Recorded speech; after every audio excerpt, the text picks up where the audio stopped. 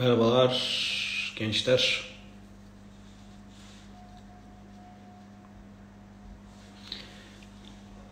Eyvallah Işık kardeşim.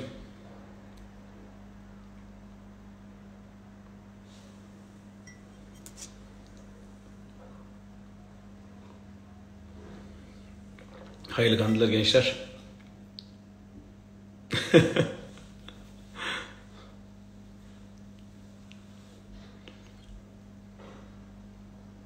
Hayırlı kandiller. Mardin'e selamlar. Biraz toplanalım gençler. Anladım aynen kardeşim benim. İnşallah.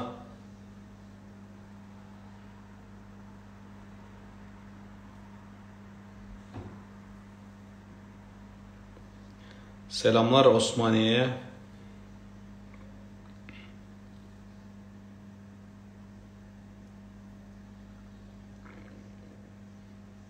Gençler bir iki dakika sonra başlayalım.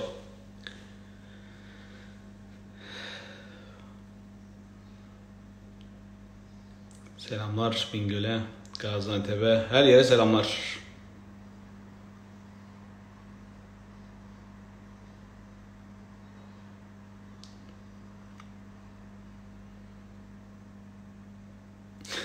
Eyvallah. Gençler, evet. Şöyle bir ufak bir açılış konuşması yapalım hemen başlayalım. Ee, şimdi gençler öncelikle tüm Müslüman alemine hayırlı kandiller diliyoruz. İnşallah içinde bulunduğumuz bu süreci en sağlıklı şekilde ve daha fazla can kaybı yaşamadan en hayırlı şekilde arkadaşlar atlatmak dileği ve duasıyla bu gece bütün hepimizin duası herhalde bu musibeti en hızlı şekilde, en etkili şekilde atlatmak babında olacak. Onun için tüm Müslüman alemine öncelikle hayırlı kandiller diliyorum gençler. Sizlerin de kandilini e, mübarek olmasını diliyorum. Gönlünüzden geçen hayırlı ne varsa, gönlünüzden geçen hayırlı ne varsa inşallah nasibinizde de o olur. İnşallah bütün güzellikler sizi bulur. Bütün güzellikler sizlerin karşısına çıkar gençler.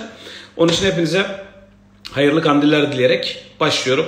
Tekrar tekrar bu e, musibetten de ülke olarak en kısa zamanda kurtulmak dileğiyle en kısa zamanda tekrar günlük hayatımıza, tekrar rutin hayatımıza, sağlıklı hayatımıza dönmek dileği ve duasıyla diye arkadaşlar bu e, süreci de inşallah bu şekilde tamamlarız diye düşünüyorum.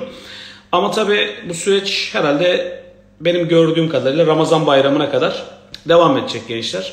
Ramazan bayramının sonuna kadar bütün hazırlıklarımızı yapmamız gerekiyor. E, Ramazan bayramıyla da süreci e, Ramazan bayramının sonuna kadar bu süreç devam edecekmiş gibi gözüküyor. Onun için e, bu süreç zarfı içerisinde siz hazırlıklarınızı kesinlikle kopmadan yapmaya devam edin gençler.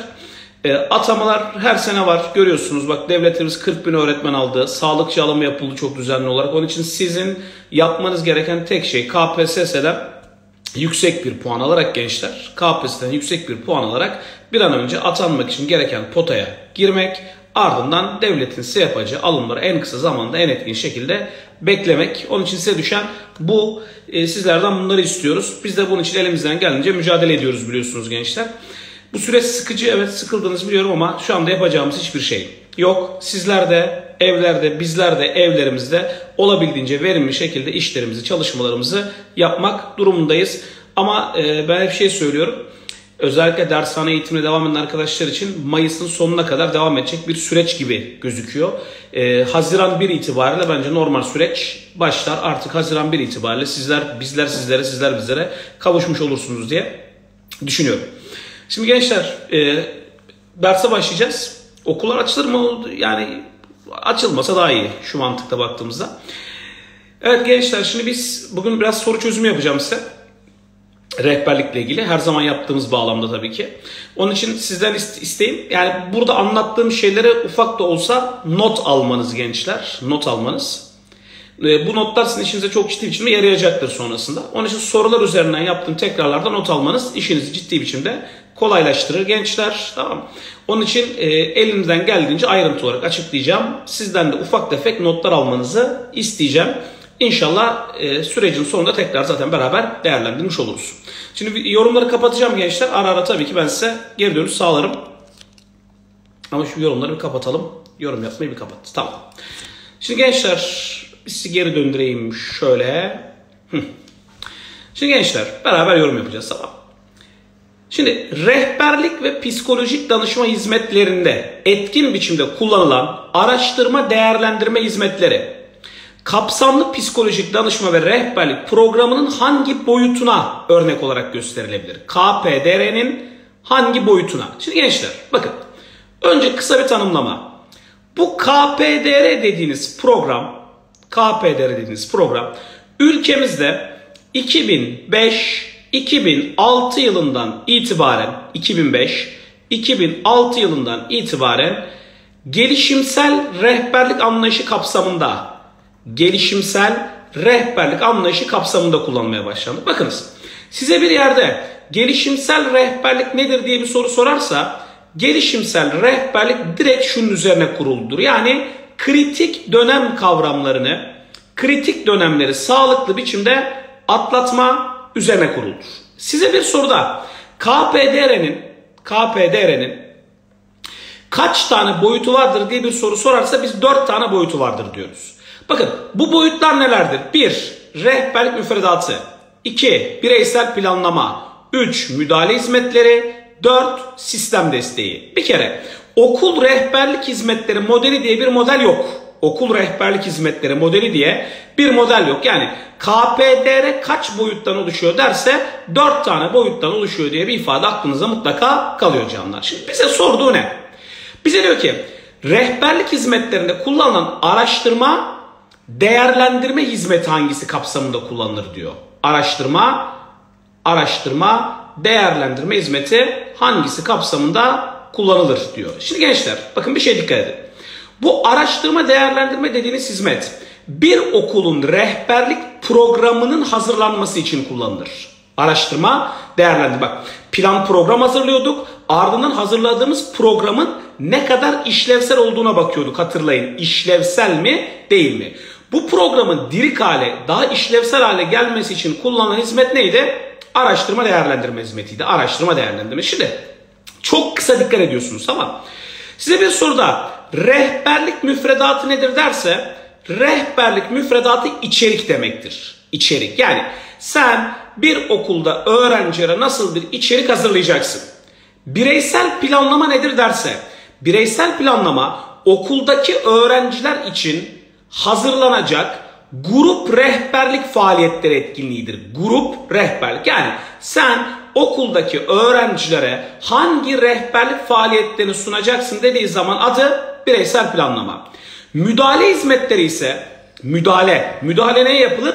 İstenmeyen duruma yapılır. Yani eksi olan bir şey yapılır. Mesela Çocukta duygusal bir problem vardır. Psikolojik danışma vermen gerekir. Bireysel ya da grupla. Cevap müdahale hizmetidir. Ya da mesela çocuk anne babasıyla çatışma yaşıyordur. Anne babayla bir müşavirlik hizmeti yapman gerekir. Cevap ne olacaktır? Müdahale hizmetleri olacaktır. Yani müdahale hizmetleri kime yapılır dediği zaman sorun davranış gösteren ya da istenmeyen davranış gösteren çocuklara yapılır. Sistem desteği ne işe yarar derse sistem desteği yukarıdaki 3 tane hizmetin etkin biçimde çalışmasını sağlar. Etkin biçimde çalışmasını. Yani sen müfredatı, bireysel planlamayı, müdahale hizmetlerini etkin biçimde çalıştırmak istiyorsan sistem desteğini kullanmalısın diyor. Şimdi dön bak araştırma değerlendirme hizmeti hazırlanan programın daha işlevsel hale gelmesi demek değil mi? Daha işlevsel hale. Peki araştırma değerlendirmenin içerisinde içerik var mı? Var. Öğrencilerle yapılan grup etkinlikleri var mı? Var. Çocuklar için istenmeyen davranış gösteren çocuklar için yapılan müdahale hizmetleri var mı? Var. E bunların üçü de burada var. E bunların üçünün etkin biçimde çalışmasını sağlayan hizmet hangisi oldu o zaman? Sistem desteği olarak kabul edildi. Sana bir soruda okulda var olan ARGE çalışmaları ne için yapılır derse okullarda yapılan bilimsel araştırmalar, bilimsel araştırmalar ne için yapılır derse okulda yapılan rehberlik faaliyetlerinin işlevsellik düzeyi neyle sağlanır derse bunların hepsi hangisinin içerisine girecek gençler? Sistem desteğinin içerisine girecek. Dolayısıyla sorumuzun cevabı ne seçeneği olarak kabul edildi? Denizli seçeneği olarak kabul edildi diyeceğiz. Onun için Ayrıntı bir bilgidir ama aklınızın bir kenarında bulunsun. Sorumuzun cevabı Denizli seçeneği aklımızda mutlaka kalsın gençler. Evet hemen devam ediyoruz. İkinci sorumuz. Şimdi bakın. Rehber öğretmenin belirli öğrencilerden, bak dikkat et, belirli öğrencilerden öğrendiklerini sınıftaki arkadaşlarıyla paylaşmalarını istemesi. Şimdi bir kere öğrencilerden kime giden bir uygulama? Öğrencilere. O zaman nasıl bir uygulama var burada? Bir kere burada mutlaka akran temelli bir uygulama var. Akran temelli. Hangisiyle açıklanır ve bu uygulama rehberin özellikle hangi kapsamı içinde yer alır? Bak hangi kapsamı içerisinde yer alır? Şimdi soruya bir döndüm. Bir orta öğretim kurumunda görev yapan rehber öğretmen okuduğu makalede cinsel ilişki yaşının ilk öğretim ikinci kademeye kadar düştüğünü, birçok öğrencinin orta öğretim kademesinde bazı cinsel deneyimler yaşadığını öğrenir. Bunu nereden öğreniyor? Bir makaleden öğreniyor. Bunun üzerine cinsel yolla bulaşan hastalıklar konusunda birkaç uzmanla görüşerek bu hastalıkların bulaşma ve korunma yollarını öğrenir. Bak rehber öğretmen öğreniyor ve ulaştığı bilgileri her sınıftan sınıfın lideri görünümlü birkaç öğrenciyle paylaşır. Bu öğrencilerden öğrendikleri sınıftaki arkadaşlara paylaşmalarını ister. Şimdi bak burada akran işi var. Akran eğitimim var. Akran eğitimim var. Akran akran danışmanlığı mı var? Yoksa akran akran ara buluculuğu mu var? Şimdi bak eğitim mi, danışmanlık mı, ara buluculuk mu? Bunu çok kolay yetirebilirsiniz. Eğitim öğrencilerin bilişsel konularda birbirine yaptığı yardımdır. Bilişsel. Danışmanlık öğrencilerin duyuşsal konularda birbirine yaptığı yardımdır. Ara buluculuk ise çatışma çözme sürecinde yaptıkları yardımdır. Şimdi ben ben bayramla anlaşamıyorum. Sen ara bulucusun, bizi bir araya getirdin. Ara buluculuk. Bayram içe kapanık, kendini mutsuz, yalnız hissediyor. Konu duysal, ona akran danışmanlığı vermen gerekir. Ben nasıl ders çalışacağımı bilmiyorum. Bana nasıl ders çalışacağımı anlatman gerekir. Konu bilişsel, cevap eğitim. Buraya dikkat et. Öğrenciler edindikleri bilgileri sınıftaki arkadaşlarıyla paylaşıyorlar. Yani bilişsel anlamda bir destek var. Bilişsel anlamda bir destek var. O zaman cevap danışmanlık olamaz. Cevap ara buluculuk olamaz. Cevap danışmanlık olamaz. Ya B ya E. Şimdi dikkat et. E seçeneği neden olamaz? Çünkü E seçeneği olabilmesi için bunun kritik bir dönem özelliği göstermesi lazım. Hayır, burada o dönemde gerçekleşen kritik bir özellikten bahsetmiyor. Sadece bu tür davranışların arttığını söylüyor ve bunu ne yapmaya çalışıyor? Bunun önüne geçmeye, engellemeye çalışıyor. Bunu engelleme işi yapacaksa sen burada hangisini kullanman lazım? Önleyiciyi kullanman lazım. O zaman sorumun cevabı ne oldu? Akran eğitimi ve önleyici rehberlik olarak tanımlanabildi. Sana soruda şöyle deseydi. Çocukların bu dönemde ikincil cinsiyet özellikleri gösterdiği gözüküyor deseydi. İkincil cinsiyet özellikleri. Şimdi bir orta öğretim öğrencisi ikinci cinsiyet özelliği gözükür mü? Evet bu o dönemin kritik özelliğidir. O zaman cevabı ne olabilirdi? Geliştirici. Ama artan cinsel eğitim ile ilgili problemlerin okulunda önüne geçmek ve bu konuda öğrencileri bilgilendirmek dediği zaman cevap ne olarak kabul edilecek gençler? Önleyici olarak kabul edilecek ve sorumuzun cevabı ne olacak?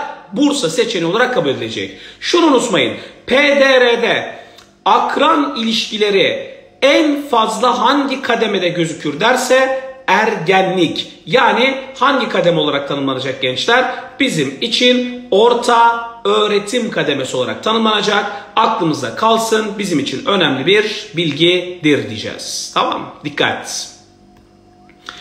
Şimdi bu durum karşısında Hasan'a hangi rehberlik hizmeti ve hangi problem alanının sunulması gerekir? Bak hemen altını çiz. Hangi rehberlik hizmeti ve hangi problem alanı?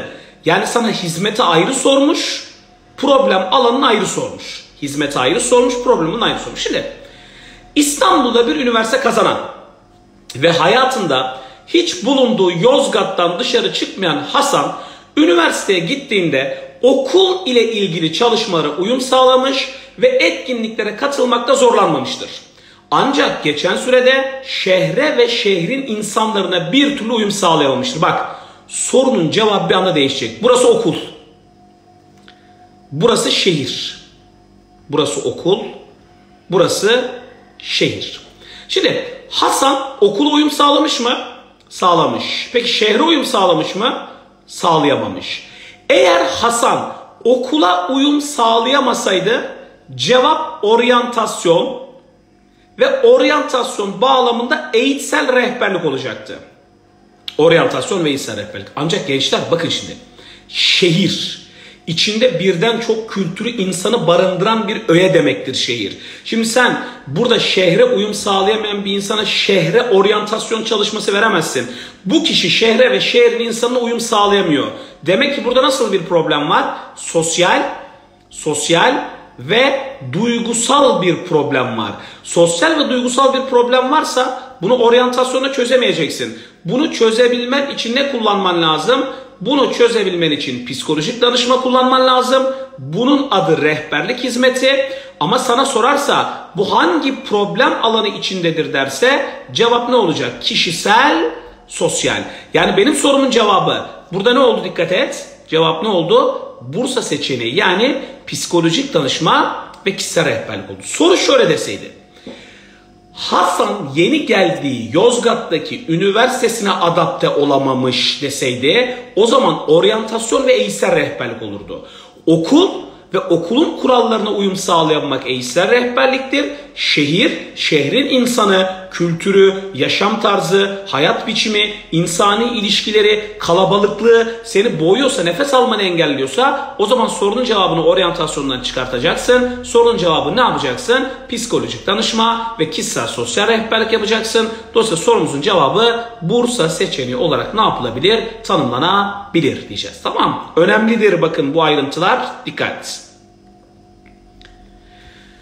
Şimdi faydalarından faydalarından hangileri sağlanabilir? Faydalarından hangileri sağlanabilir? Okullarda gerçekleştirilen dikkat et. Grup rehberliği etkinlikleri diyor. Şimdi bak. Şuna dikkat ediyorsun değil mi? Şuna dikkat et. Birey sayısı dediği zaman birey sayısı dediği zaman burada rehberlik burada psikolojik danışma burada rehberlik Burada psikolojik danışma. Rehberliği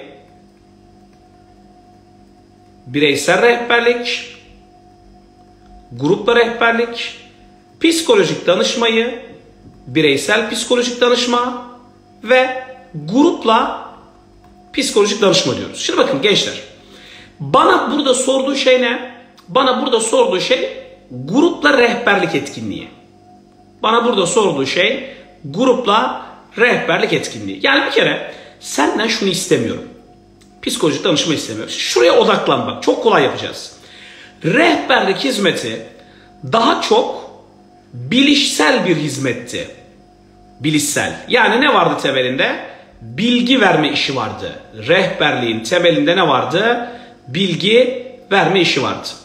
Doğrudan uzmanlık gerektirmiyordu. Yani bu işi illaki psikolojik danışman yapacak diye bir kanun yoktu. Çocukla ilgili olan herkes ne yapabilirdi rehberliği?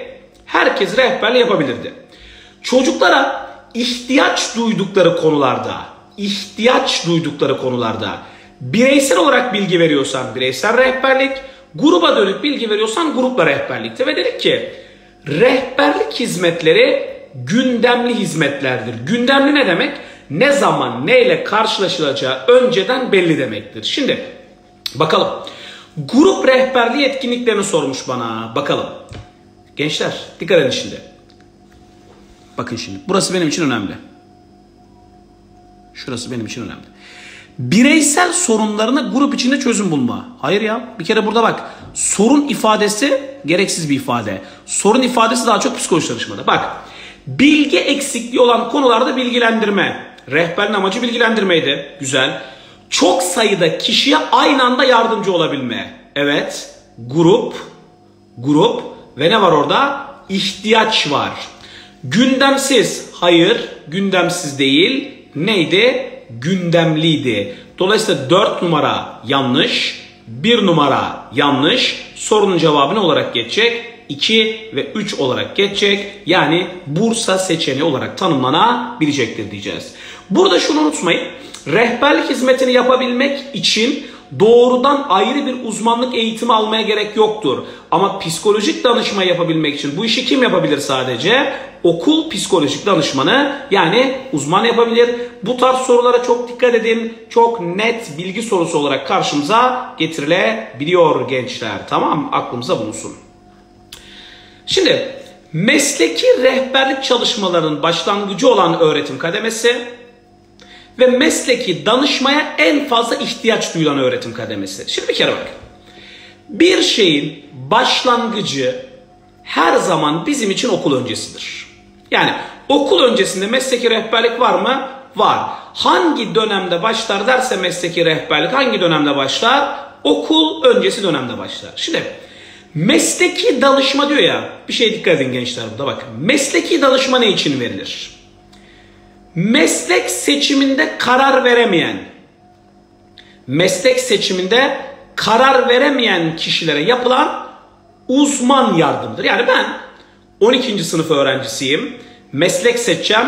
Bunu mu seçeyim, bunu mu seçeyim? Karar veremiyorum. Bak kaçıncı sınıf öğrencisiyim? 12. sınıf. Yani nereye denk geliyor? Bizdeki adıyla liseye denk geliyor. Lise değil mi? Liseye denk geliyor. E şimdi mantıken baktığın zaman lise ya da orta öğretim yeni adıyla mesleki rehberliğin başlangıcı olan kademe okul öncesi danışmaya en fazla ihtiyaç duyulan dönem lise. Yani sorumun cevabı ne olarak geçecek? Ceyhan seçeneği olarak geçecek. Şimdi ben size bir soru soruyorum cevap alacağım hazır olun. Kademelerim bunlar. Verilen kademelerden hangisinde mesleki olgunluk başlar? Cevap istiyorum. Hadi bakalım. Verilen kademelerin hangisinde mesleki olgunluk başlar? Bana bir cevap yazın bakalım. Okul öncesi mi, ilk öğretim mi, orta öğretim mi, yüksek öğretim mi? Hangisi mesleki olgunluk? Alalım cevapları. Okul öncesi geliyor, ortaokul geliyor. Okul öncesi, okul öncesi, ortaokul, okul öncesi, okul öncesi, okul öncesi, okul öncesi, geliyor geliyor, okul öncesi bravo. Okul öncesi, bakın gençler ısrarla hata yaptığınız bir şey anlatayım size bakın. Hep olgunluk deyince orta öğretime gidiyorsunuz. Ya hayır, olgunluk demek orta öğretim değildir. Bak meslek seçme deseydi orta öğretim. Orta öğretim meslek seçme deseydi. Ama mesleki olgunluk dediği zaman okul öncesini düşüneceksiniz. Bak bu hataya düşme. Tamam Okul öncesi. Niye? Bak niye? Cevap yukarıda. Mesleki rehberlik hangi kademede başlıyordu? Okul öncesi. E, o zaman mesleki rehberlik okul öncesinde başlıyorsa çocuğun o dönemde atlatması gereken kritik görevler var demektir. Kritik görev. Şimdi mesleki olgunluk kritik görevlerle mesleki rehberlikle ilgili kritik görevlerden bahseder. Yani bir okul öncesi çocuğu oyunlarla meslekleri tanıyor mu? Tanıyor. Oyunlarla mesleki farkındalık yaşıyor mu? Yaşıyor. E sen kritik dönem olarak bunları çocuğa kazandırıyorsun o zaman. E şimdi fantazi şekilde fantazi şekilde okul öncesi çocuğunda mesleki rehberlik var o zaman. O zaman mesleki olgunluk hangi kademede başlar derse okul öncesi, meslek seçme hangi kademede başlar derse orta öğretim yani lise döneminde başlar. Mesleki danışma yani karar verme hangi dönemde başlar derse lise yani orta öğretim direkt olarak aklınıza ne yapacak? Gelecek. Onun için unutma çok kritik 2 sene üst üste sordu bunu. Mesleki olgunluğun başladığı öğretim kademesi hangisidir derse cevabımız hep ne olacak gençler? Okul öncesi olarak tanımlanıp kabul edilecek. Benim için önemli bir bilgi aklınızda mutlaka kalsın. Bunu istiyorum sizden tamam mı? Bu önemli. Güzel. Adamsınız. Şimdi bak çok tehlikeli bir soru anlatacağım size. Dikkat edin. İşlevlerinden hangilerine vurgu yapılmıştır? İşlevlerinden hangilerine vurgu yapılmıştır? Şimdi okula yeni başlayan okula yeni başlayan öğrencilerin çoğu. Bak şunu çizdim. Okula yeni başlayan öğrencilerin çoğu. Kardeşim bir kere yeniyi bana soruyor. Yeni her zaman aklıma oryantasyon ya da uyum sağlayıcı getirecek. Bakalım. Okula yeni başlayan öğrencilerin çoğu okulun sunduğu olanaklar hakkında bilgi sahibi değildir. Örneğin evde uygun çalışma ortamı olmayan, ders çalışmak için yeterli kaynağı bulunmayan bir öğrenciye okulun sunduğu olanaklar iyi tanıtılırsa bu öğrencinin akademik başarısına da anlamlı ölçüde katkı sağlanmış olur. Şunu da çizdim. Akademik başarısına da anlamlı ölçüde katkı sağlanmış olur.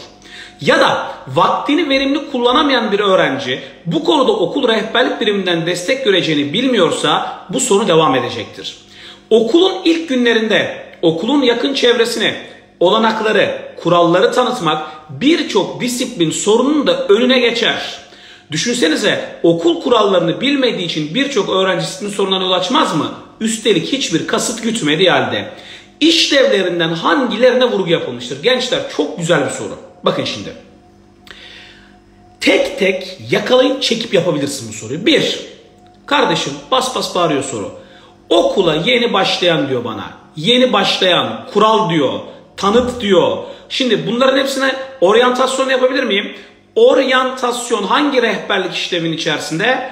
Oryantasyon direkt olarak uyum sağlayıcının içerisinde. Bir kere bir kere içinde mutlaka bir olacak. D'ye gitti kardeşim. D'ye gitti. Peki devam ediyorum. Diyor ki önüne geçer diyor. Olası sorunların önüne geçer. Bir şey ortaya çıkmadan tedbir almak. Önlemek demek değil miydi? Bu da var. Demek ki içinden olacak mutlaka 3'te olacak. Gitti. Devam ediyoruz. Bak. Eliyorum şu anda. Şimdi şuna çok dikkat et. Rehberliğin ayarlayıcı işlevi okulda hazırlanan programlara dönüktür. Program. Yani ne olması lazım burada? Okul rehberlik programı, sınıf rehberlik programı, web programı, talim terbiye kurulu programı, işte ne bileyim arkadaşlar içinde program geçen herhangi bir şeye müdahale ediliyorsa, programlar üzerinde bir düzenleme ya da oynama yapılıyorsa bunun cevabı ayarlayıcı olur diyor. Peki şuraya bak bakalım. Şu sorunun içerisinde programlara dönük bir müdahaleden bahsetmiş mi? Hayır. Asla işin içerisinde programla ilgili bir şey yok. Bir kere sorumuzun içerisinde iki numara olmayacak gençler. İki numara olmayacak. Gitti. Gitti o da gitti. İki numara olmayacak. Çünkü bak şöyle deseydim. Üstelik hiçbir kasıt gütmediği halde bu sorunu yaşayan öğrenciler olabilir. O zaman okulun rehberlik programı bu ihtiyaçlara göre düzenlenmiş olur deseydi ayarlayıcıyı alacaktın. Ama şu anda ayarlayıcıyı ne yapmıyorsun? Almıyorsun. Şimdi hocam tamamlayıcı burada var mı? Bak ben size dedim ki PDR hizmetleri PDR hizmetleri eğitim eğitim öğretimin eğitim öğretimin eksikliklerini tamamlıyorsa eğitim öğretimin eksikliklerini tamamlarsa bu öğretmen olabilir, yönetici olabilir, öğrenci olabilir ama öğrencinin eksikliği ne olacak burada? Tamamlanacak. Kim tamamlayacak? PDR. Ne için tamamlayacak? Öğrencinin eksiklerini gidermek için bunu yapacak. Şimdi dikkat et. Okulun sunduğu olanakları iyi tanıtıyorsun. Ya da vaktini verimli kullanamayan bir öğrenci bu konudaki okul rehberlik biriminden destek göreceğini bilmiyorsa bu sonu devam edecektir diyor. Yani diyor ki PDR çocuğun eğitim öğretim süreciyle ilgili eksikliklerini burada ne yapmalı? Tamamlamalı. Burada eksiklikler tamamlanacaksa hangi rehberlik işlevi kullanmış olacak canlar? Tamamlayıcı rehberlik işlevi kullanmış olacak. O zaman rehberlik eğitim öğretimi tamamladığı andan itibaren tamamlayıcı devreye girer. O zaman ben 4'ü almak zorundayım. 1'i almak zorundayım ve 3'ü almak zorundayım. Yani sorumun cevabı Ceyhan seçeneği olarak ne yapılacak? Tanımlanabilecek diyeceğiz. Hep tamamlayıcılığı öğretmen ve yönetici olarak kodladık, kodladınız. Artık bunu yapmayın. Bakın ben ders çalışıyorum ama diyelim ki çalışma noktasında eksiklerim var. Nasıl plan hazırlayacağımı bilmiyorum. Zamanımı etkin kullanma noktasında eksikliklerim var. Eğer rehberlik gelip bak çalışıyorum Ama şurada bir eksiğim var. Rehberlik gelip bu eksiği tamamlarsa hangi işlevi kullandı? Tamamlayıcı. Kendime güzel bir plan yaptım. Hazırladığım planı okul rehber öğretmenine gönderdim. Rehber öğretmen dedi ki Can dedi şurada eksiklerin var bak bunları giderelim. Şöyle yap böyle yap. Benim eksiğimi ne yaptı? Tamamladı. Rehberlik eğitimi öğretimi tamamlıyorsa hangi işlev kullanılmış oldu? Tamamlayıcı. Sorumuzun cevabı da Ceyhan seçeneği olarak tanımlandı. Önemli bir soru tarzıdır. Aklınıza kalsın. Biraz ağır bir soru ama dikkat. Tamam. Şimdi risk faktörü olarak çocuk sayısının koruyucu faktörler olarak çocuklar arasındaki ilişkinin irdelendiği bu çalışmanın konusu aşağıdakilerden hangisidir? Abartmışım soruyu. Yani risk faktörü olarak çocuk sayısının koruyucu faktör olarak çocuklar arasındaki ilişkinin irdelendiği bu çalışmanın konusu aşağıdakilerden hangisidir? Yapılan bir araştırmada aile içerisindeki çocuk sayısı ile bu çocukların bir sorunla karşılaştıkları zaman sorun çözme becerileri incelenmiştir. Özellikle de çocuk sayısı 4'e ulaştığında bu ailede yetişen çocukların olumsuz bir durumla karşılaştıkları zaman çoğunlukla bunun üstesinden gelemediği görülmüştür. Ancak kardeşler arasında güçlü ilişkilerin kurulduğu ailelerde ise çocuk sayısı 4'e ulaştığında bile bu çocukların olumsuz bir durumla karşılaştıkları zaman bunun üstesinden gelebildikleri görülmüştür. Şimdi Gençler bakın soruyu uzatmışım uzatmışım ama esasen sorduğu soru şu. Çocukların karşılaştıkları sorunların üstesinden gelebilme düzeyleriyle ilgili bir çalışma yapılmış. Şimdi empati seni anlıyorum mesajını karşı tarafa vermekti. Burada böyle bir şey yok. Bağdaşım kişinin söz ile davranışlarının uyumlu olması demekti. Burada böyle bir şey yok. Otantiklik diğer insanlardan farklı, aykırı, marjinal olma demekti. Burada böyle bir şey yok. Kendini kabul, kendi güçlü ve zayıf yönlerini farkında olarak bir kişinin kendini tanıması demekti. Burada böyle bir şey yok. Bir kişinin karşılaştığı engellerle baş edebilme gücüne ise psikolojik sağlamlık diyorduk. Üstesinden gelebilme. Sorumun cevabı psikolojik sağlamlık. Psikolojik sağlamlık sosyal psikolojide önemli bir kavramdır.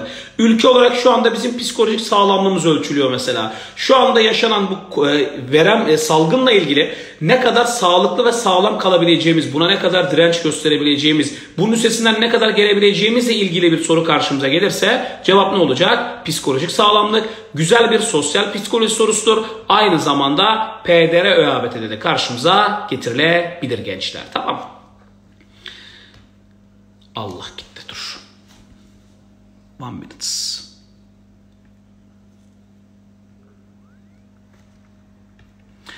Şimdi Rogers'a göre aşağıdakilerden hangisi kendini gerçekleştirme sürecine girmiş bir kişinin ifadesi olamaz? Bak Rogers'ta kendini gerçekleştirme kavramına biz tam verimlilik deriz.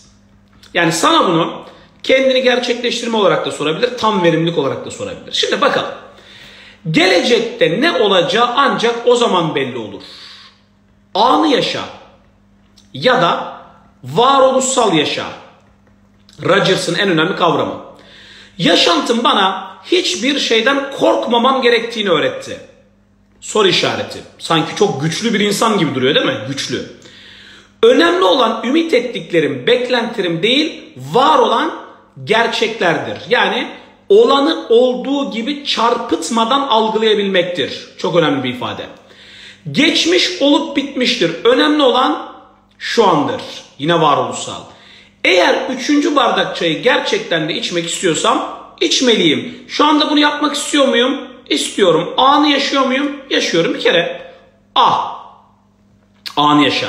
D. Anı yaşa. E. Anı yaşa. Bunlar zaten racısta var.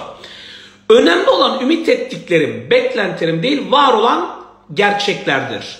Rogers gençler benlik kuramında insanların olayları çarpıtmadan bak insanların olayları çarpıtmadan ifade etmesini kabul etmiş. Çarpıtmadan.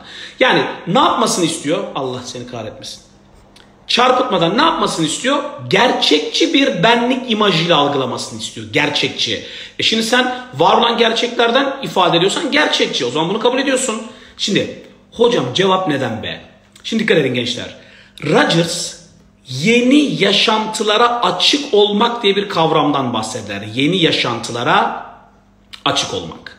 Rogers'a göre bir insan kesin ifadeler kullanıyorsa asla, zinhar, katiyen, ölürüm de mümkün değil bana bunu yaptıramazsın dediği andan itibaren o insan yeni yaşantılara kapalıdır. Yeni yaşantılara açık olan insan şunu der. Mesela ben asla evde kalmam diyen bir insan yeni yaşantılara kapalıdır ama şunu derse ya Allah esirgesin başımıza bir salgın malgın musibeti gelir. Bu salgından dolayı evde kalmam gerekebilir dersen yeni yaşantılara açıksın. Kardeşim ben ölürüm de bunu yemem dersen yeni yaşantılara kapalısın. Ya kardeş şartlar mecburen bunu gerektiriyor ben bunu yemek zorundayım dersen yeni yaşantılara açıksın. Şimdi soruya dikkat et. İfadeye dikkat et. Rogers insanların yeni yaşantılara açık olması gerektiğini savunur. Ben asla hiçbir şeyden korkmam diyen bir insan yeni yaşantılara kapalı ama Rogers ne diyordu? Açık olmalısın diyordu. O zaman sorumun cevabı ne olacak? Sorumun cevabı Bursa seçeneği olarak tanımlanıp kabul edilebilecek. Ağır bir soru ama güzel bir soru. Kendini gerçekleştirme kavramına dikkat. Şimdi bu durumda okul rehber öğretmeninin öğrencisine öncelikle uygulaması gereken rehberlik hizmeti hangisidir? Ve bu uygulama hangi işlev içerisinde değerlendirilebilir? Şimdi gençler, öğretmen öğrencilere yarım cümle tamamlama uyguluyor. Yarım cümle tamamlama testi. Bunun adı Beyer testleri diye geçer. Beyer testleri diye geçer. Şimdi keşke annem babamla hiç evlenmemiş olsaydı. Hmm. Soru. Eve giderken acaba bugün neden dayak yiyeceğim diye düşünüyorum. Acaba bugün neden dayak yiyeceğim? Sürekli bir şiddet var mı? Sürekli bir şiddet var. Ders çalışırken en yüksek puanları almak ve iyi bir üniversite kazanmak annemi babamdan kurtarmak için uğraşıyorum diyor. Şimdi bir baba ile bir problem var. Şiddet var. Şiddet var. Ve bu şiddet süreklilik arz ediyor. Çünkü sürekli yaşıyor. Değil mi? Sürekli bu şiddeti yaşanan bir durum var. Şimdi bu çocuğa ne yapalım? Bir yerde sürekli şiddet varsa, devamlılık arz ediyorsa o her zaman krizdir gençler. Kriz. Peki bu kriz durumu birey üzerinde bir travma yaratır mı? Yaratır. Travma bireyde sosyal ve duygusal bir çöküntü ortaya çıkartır mı? Çıkartır. O zaman senin kriz, sosyal ve duygusal travmayı ortadan kaldırabilmek için de ne kullanman lazım? Psikolojik danışma. Sorunun cevabı psikolojik danışma, krize müdahale olarak geçer. Hocam birey tanımı iyileştirici olmaz mı? Olmaz. Çünkü bireyin burada babasından sürekli şiddet gördüğü aşikar. Yani davranışı aslında ne yapmışız? Tespit etmişiz. İyileştirici niye olmaz biliyor musunuz? Sürekli şiddet gören bir çocuk artık kriz yaşıyordur. Sürekli akran zorbalığına maruz kalan bir çocuk artık kriz yaşıyordur. Dolayısıyla burada krize müdahale olması lazım ve hemen travmanın ortadan kaldırılabilmesi için ne kullanılması lazım? Psikolojik danışma. Bu hizmeti kim verebilir diye bir soru sorsaydı okul psikolojik okul psikolojik danışmanı bu hizmeti verebilirdi. Ardından sorunu çözdükten sonra bireyi takip etseydiniz cevap ne olurdu? Değil mi? Olurdu. Birin uyum sağlaması olmaz. Kritik dönem değil. Eğitim öğretimle ilgili bir süreç yok. Yani mecburen cevap neye gidiyor dikkatini çekerse kriz. Gençler unutmayın. Her türlü şiddet eğer süreklilik arz ediyorsa mutlaka beraberin hangi rehberlik işlevine getirecek? Krize müdahale getirecek ve sorumuzun cevabı Ceyhan seçeneği olarak tanımlanabilecek. Tamam Aklınıza bulunsun. Güzel bir soru tarzı bu da. Bu durumda öğretmenin aşağıdaki ifadelerden hangisini kullanması öğrencisine empatiyle yaklaştığının bir göstergesidir. Empati, karşı tarafa ben seni anlıyorum mesajı vermektir. Nasıl yapıyorduk biz bunu gençler? İçeriği, içeriği ve duyguyu aynen yansıtıyorduk. Aynen yansıtma. Peki Empatide kişi kendinden bir şey katabilir mi? Hayır, asla kendinden bir şey katmaz. Var olan durumu karşı tarafa olduğu gibi ifade etmek zorunda, yansıtma yapmak zorunda. Emretme, hükmetme, öğüt verme, eleştirme, suçlama, yargılama gibi durumlar empatide kesinlikle yoktur. Şimdi sınıf öğretmeni Ayşe ile öğrencisi Fatma arasında şöyle bir konuşma geçer. Fatma, öğretmenim biliyorsunuz annem de babam da öğretmen ve benim de öğretmen olmamı istiyorlar. Tamam çok rastlandık bir durum. Anne babaya müşavirlik unutma. Öğretmen bu konuda sen ne düşünüyorsun? Bir kapı aralayıcı kullanmış öğretmen çocuğu konuşmaya devam ettirmek için. Ben de öğretmen olmak istemiyorum. Müzikle ilgilenmek istiyorum ancak onları üzmek de istemiyorum. Bak ben öğretmen olmak istemiyorum. Müzikle ilgilenmek istiyorum ancak onları da üzmek istemiyorum. Şimdi eğer neyse ne istediğinden eminsen müzikle ilgilenmek en doğal hakkın. Olmadı. Öğüt. Öğretmen olmak istemiyorsun ve bu konuda ailene kızgınsın. Bak gençler çok güzel bir empati ifadesi ama cevap bu değil. Hataya düşme. Bu bir empati ifadesi doğru ama cevap bu değil. Çünkü çocuğun anne babasına kızgın olduğuna dair hiçbir şey yok. Yani sen buraya kendinden bir şey kattın. Sen buraya kendinden bir şey kattığın için cevap bu olamaz. Bursa empati ama doğru bir empati değil. Hem müzikle ilgili bir öğretmen olabilirsin. Mesela müzik öğretmenliği, öğüt. Ailenle bu konuda konuşmanın bir faydası olur mu? Öğüt ya da yol gösterme. Ailenin beklentileri karşısında ne yapacağın konusunda kararsızlık yaşıyorsun. Sen yaşıyorsun, ben bunu anlıyorum.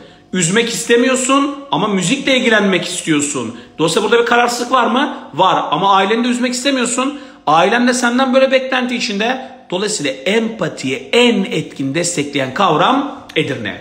Bunu bir sınavda sordum. Çoğu insan B yaptı. B empati mi? Empati. Ama sen burada kendinden bir şey katamazsın. Dolayısıyla sorunun cevabı her halükarda Edirne seçeneği olarak tanımlanabilir gençler. Aklınızda bulunsun. Tamam Önemli bir kavramdır.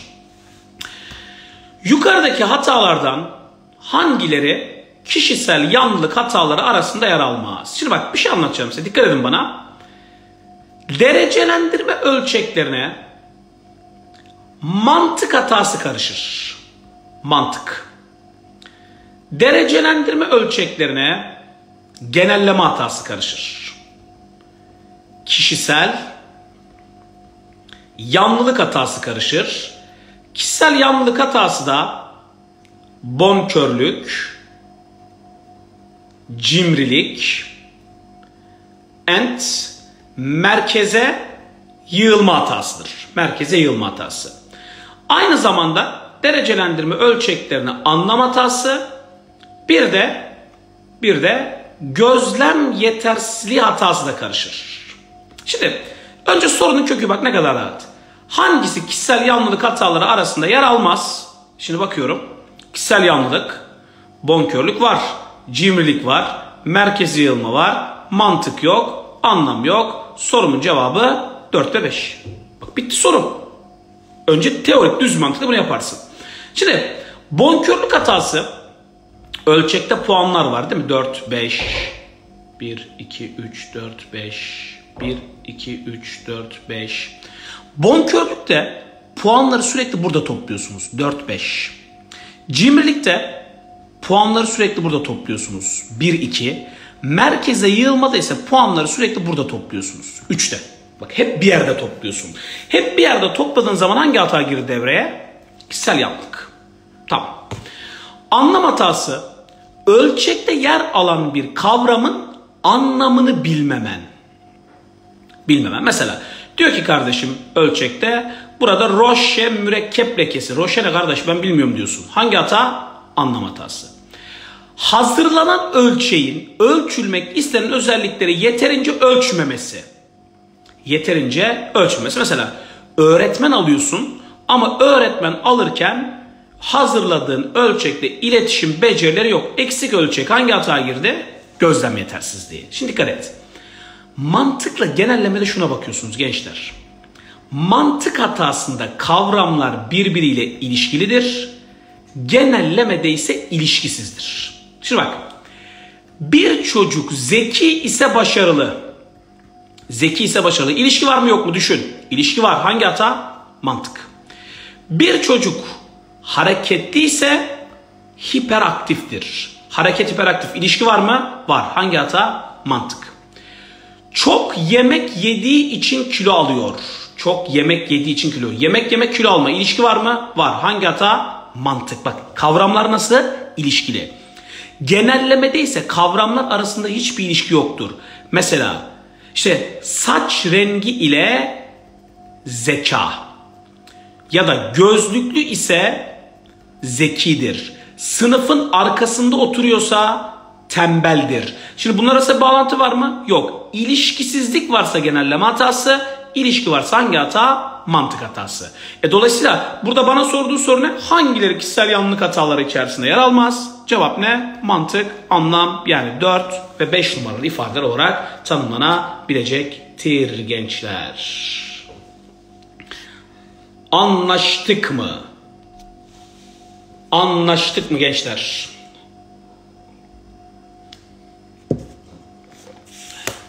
Hı? Anlaştık mı? Bundan mı?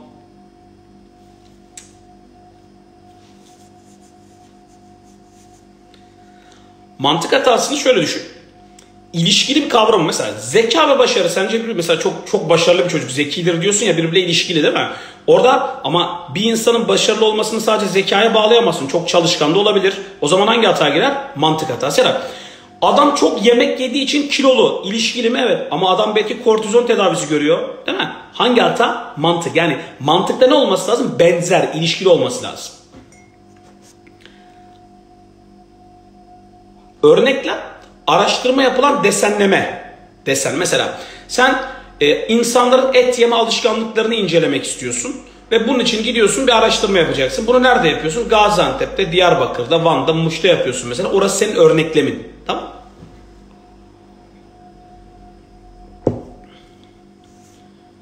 Şimdi bak şiddet süreklilik arz ediyorsa sürekli kriz doğurur. Ama bir kere şiddet gördün ve bu durum sende bir travma yarattı. Artık bunu iyileştiriciye gitmen gerekiyor ama sürekli sürekli oluyorsa değil mi? Fark eder. Anlam anlamama. Gençler bizim o kadar zamanımız maalesef yok ya. Yani hani sürekli tekrar yapma ezberleyeceksiniz. E, unutmayın diye saat koyduk ki oraya.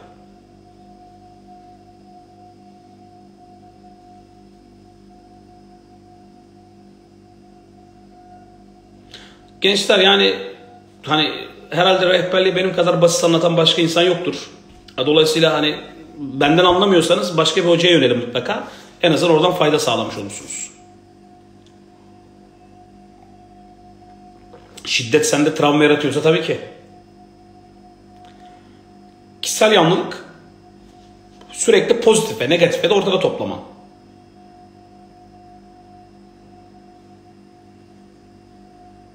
Kaydedeceğiz kaydedeceğiz sıkıntı yok. Şu anki 4. sıfır ek atamaya dahil olmaz zannımca.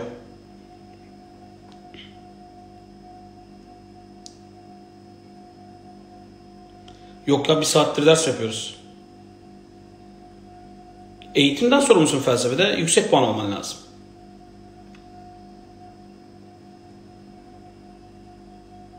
Sorular üzerinden anlatıyoruz. Gelişimsel rehberlikte nihai amaç kariyer planlamasıdır. Otantik farklı aykırı marjinal. Yani diğer insanlardan farklı aykırı olduğunu göstermek anlamında kullanılır. Ama doğal yanlış bir kavram değil ya. Yani şey, şeyden aklınıza gelsin mesela. Otantik kafe falan diyorlar ya gençler. Otantik kafenin anlamı ne? Diğer yerlerden daha farklı, aykırı. Yani sıradan değil. Anlatabildim mi? Sıradan olmaması mesela onun zaten otantik olduğunun bir göstergesidir. Sivas 7 iklime genel tekrara geleceğiz ama şu süreci bir anlat, atlatalım inşallah. Ölçmede Sabri hocam var. O en iyisini yapar. Bitse selamlar. Genelleme çok iyi kalem kullandığı için yemek yiyordur dersin mesela ilişkisiz. İlişkisi olması lazım yani genellediğin şeylerin ilişkisi olması lazım.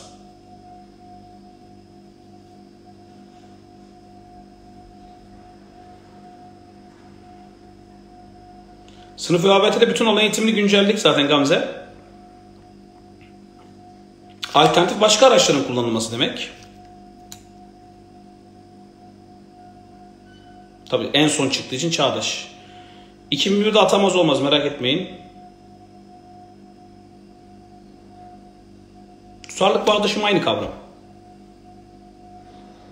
Olmaz olmaz. Atama her sene olur merak etmeyin.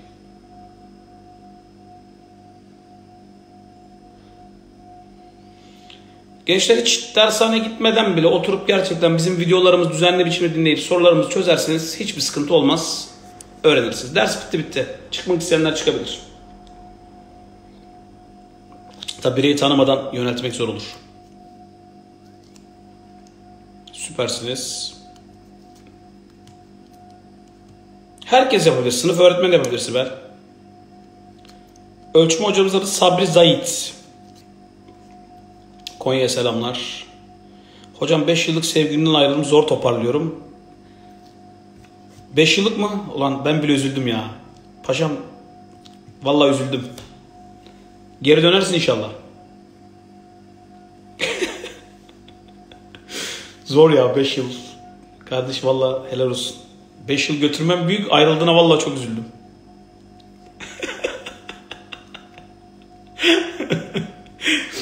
ne gülüyorum ama ne yapayım şimdi? Tuhaf oldu. Türkmen Ömer kardeşim sen atlatırsın bunu. Aslan gibi adamsın. Sana daha iyileri var. Ömer. Ömer bir istek gönder bakayım bana. Seni canlı yayına alacağım. Ömer bir istek gönder bana. Ömer 61 Türkmen. Bir canlı yayına gel bakayım Ömer.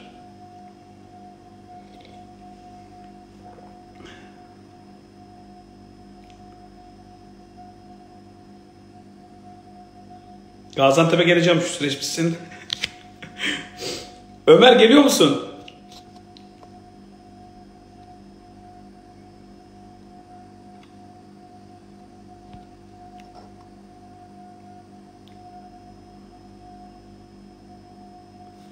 Yalnızlığı seviyorum ben sıkıntı yok.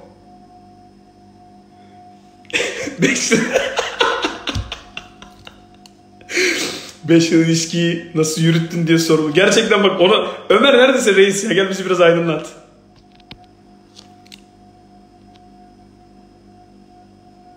Yok Ömer gelmiyor ya. Yayını kaydedeceğim. Ömer talip bulanı falan yazmışlar bak paşam. Ömer'i bekliyoruz. Gerçekten şu anda 450 kişi Ömer'i bekliyoruz.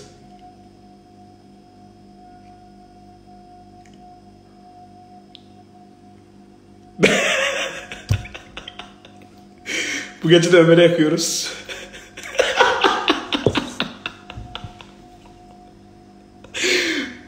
Ömer gittin de mi doğruyu söyle Ömer. Ya.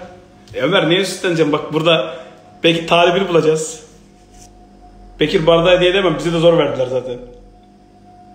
Benim 5 yıllık hiç olmadı. Benim de olmadı vallahi Hidayet kardeşim. Ömer sen daha ilerine layıksın. Ömer vallahi çok üz yani üzülüyoruz aslında işten içe kardeşim. İlişkinin ömrü 5 yıl zaten vakit gelmiş.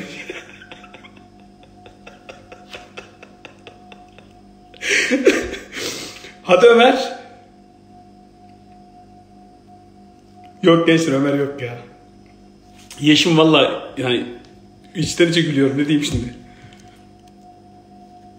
Ömer kardeşim sen de ailene layıksın. 5 yıllık ilişki bitti. Hocam çok üzüldünüz ya.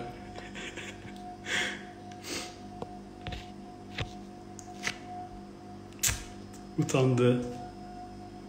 Ömer o kaybetmiş kardeşim aynen bak söylüyorlar gerçekten.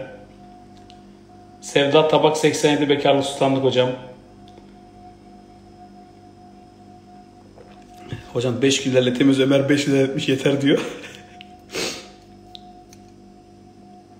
Bitmese zaten görüşmeyeceksiniz korona.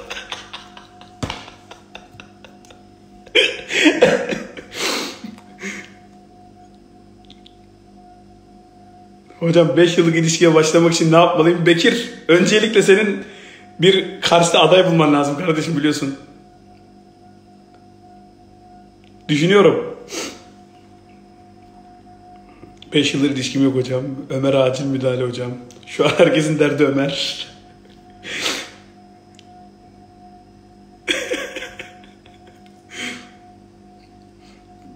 Aha Zeyno. Zeyno Ömer'e içiyoruz şu anda. Şey Ömer'e su içiyoruz kanka. 5 yıllık ilişkisinden ayrılmış kardeşim. Dersi bitirdik. Çocuk kaçtı gitti Zeyno. Instagram'a küstü.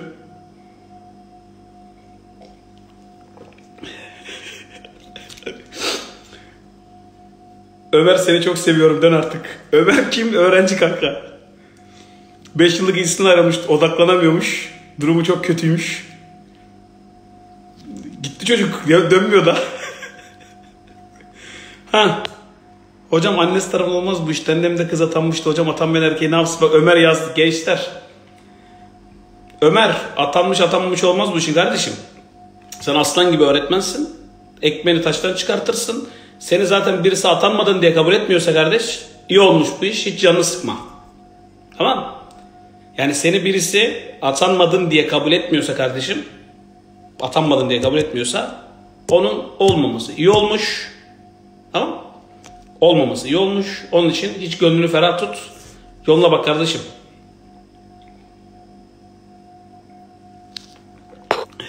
Ömer kardeşim benim.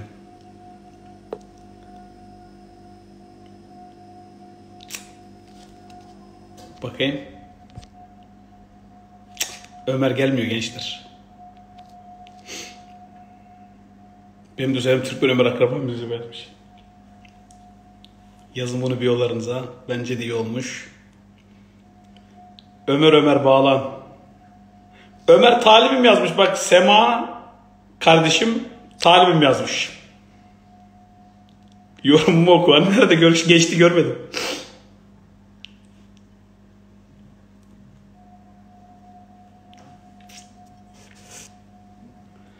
Sigara da senin için yaktık. Ömer senin için su içiyorum kardeşim şu anda. Hepimiz Ömer'iz.